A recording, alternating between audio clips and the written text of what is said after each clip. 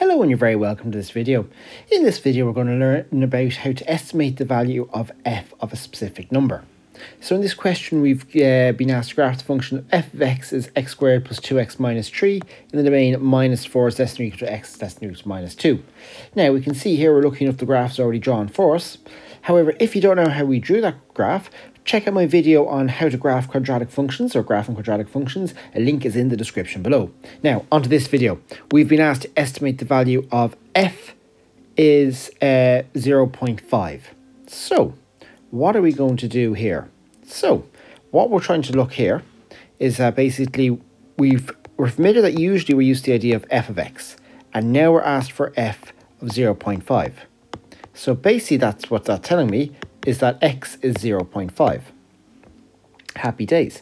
So if I know x is 0.5, I'm now going to go to my x-axis here, and I'm going to find the point 0.5, which is halfway between the point 0 and 1. So it's 0.5, which is here. Okay, so here I need to basically find from here, where does it hit my curve?